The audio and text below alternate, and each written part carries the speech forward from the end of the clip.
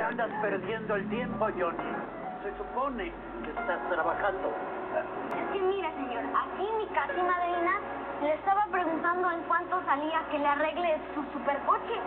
¿Ya vio el coche que trae? Pues entonces atiende a la señorita, muchacho. Y tú, Patricia, ven acá. Cerca. Te debo una, Pablito. Pues sí, pero ahora voy a tener que confesarme porque eché una mentirota y así no puedo hacer mi primera comunión. Eso sí. Pues córrele para la casa, ándale.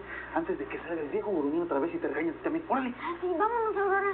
No, me voy con Mariano. Tengo que hacer algunas cosas. Al rato te veo. ¡Córrele! ¿Nos vamos? ¿Qué, qué, qué te pasó?